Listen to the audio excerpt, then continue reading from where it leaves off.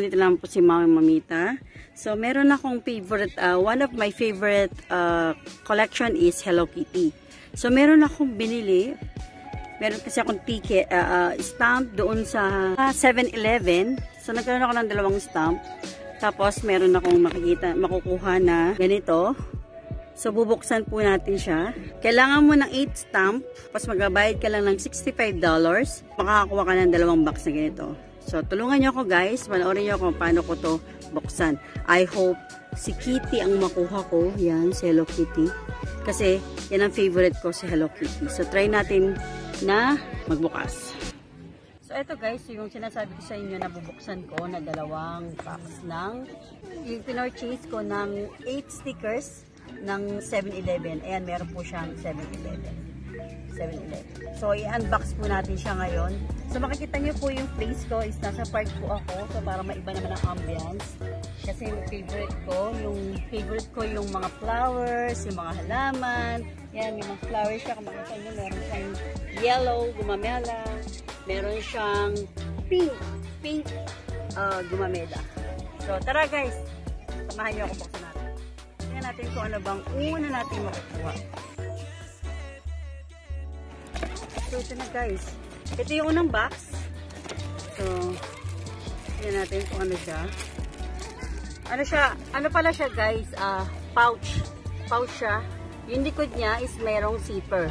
May zipper yung likod niya. So, pwede mo siyang gawin coin purse. So, tara guys. Oops!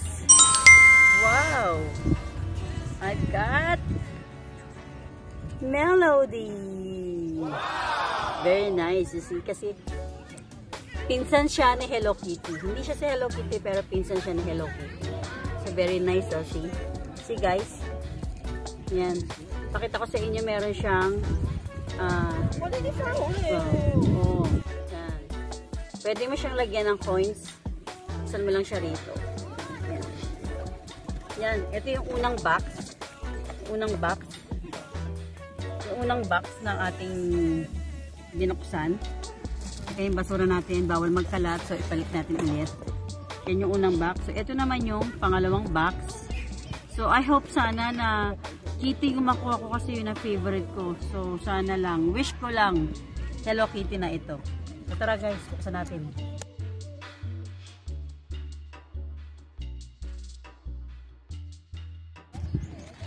Ano kaya sa tingin nyo, guys? Ano kaya? Surprise. Talagang nakasealed siya, no, guys?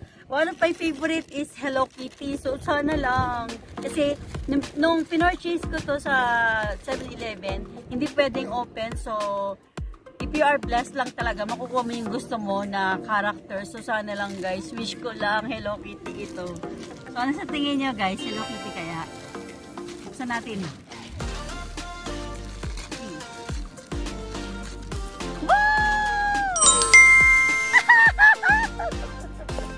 Hello Kitty siya, guys! Hindi ko siya pinili. So, nakakatawa kasi yung favorite kong dalawa ang nakuha.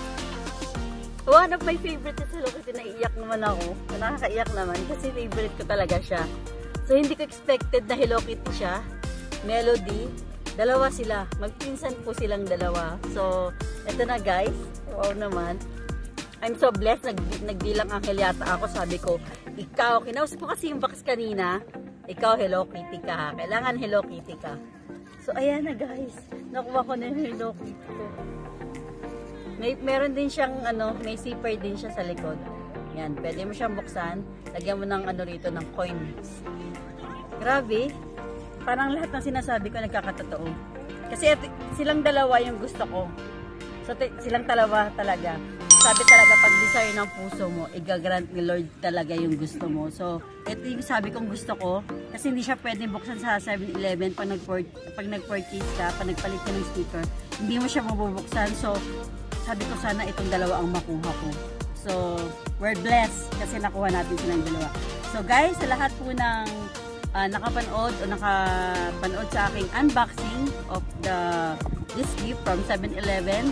Sa lahat pa po ng hindi pa po nakasubscribe to my YouTube channel, um, please do subscribe po. Baka naman po mag-subscribe naman po kayo sa aking YouTube channel. At saka i-press nyo po yung uh, notification bell dyan para po maging updated kayo sa uh, lahat ng aking video. So salamat guys. See you and God bless us all.